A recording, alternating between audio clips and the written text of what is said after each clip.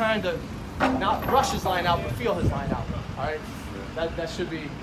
Make him square. We want to get some intel. You want these in here? I ain't looking to spend the night in this shit.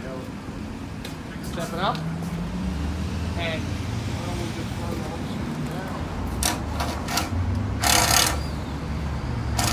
so I want you guys to square off because we're gonna stop at 50 50. You want the tension.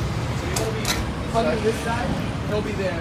So when you turn, I want you I want that to be like Hit me. Don't be Yeah. afraid to hit me. Yeah. I do bench press for a reason. Yeah, yeah, yeah. So put that. I want to see that power come off. Put that there, and then you can even grab Yeah, them. grab. Pretty Pop. cool. Right? Be rough with them. You're not afraid. All right. Turn and shoot.